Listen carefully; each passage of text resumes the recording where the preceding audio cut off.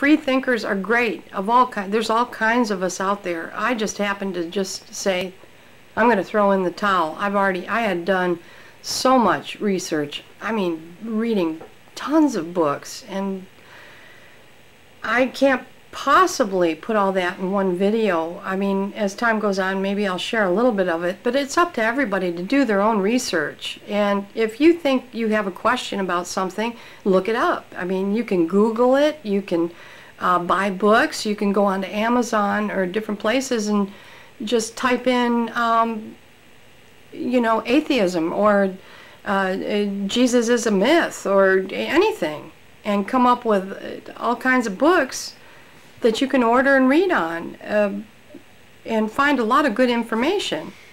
Um, the Jesus Puzzle was one of the first books uh, by Earl Doherty that I had bought.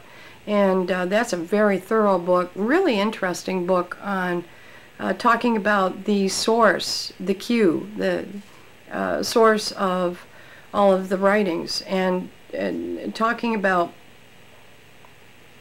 uh, the things that developed uh, you know, as time went on with the, the Gospels having to do with Jesus, and he explains a lot of things. That was a very good book for me, and um, I took it. I took it once to uh, the laundromat to do some uh, large laundry, and the book fell in the washer, and it got all, all wrinkled. I took that book out, and I was freaking. I had I was bringing it with me just to read and I remember it got all soaked and I was just so disappointed. And I'm going to buy a new book on that but I, I managed to salvage it and dry it off and everything. But I have so many I mean I was taking this stuff everywhere I went and to read. Always always reading anything I could.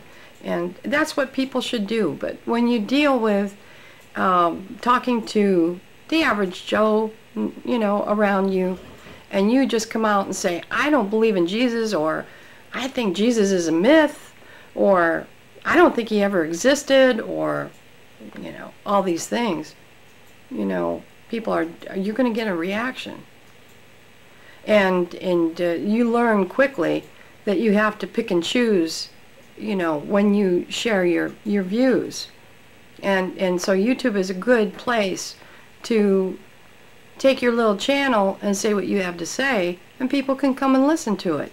But other than that, when you're you're in a social setting, if uh, you're dealing with people that can affect you financially, and uh, if you'd have repercussions for for speaking out, I think people have to realize there's a time and place.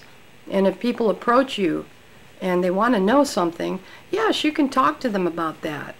Uh, and uh, but I, I have found that when proselytizers come to my door they have one goal in mind, and uh, I've put, I, I strictly, I put out the message that please, no, oh, David, you just got in my way there. That's all right. He's going into the other room. Uh, but uh, uh, I I just let them know, you know, no religious religious solution.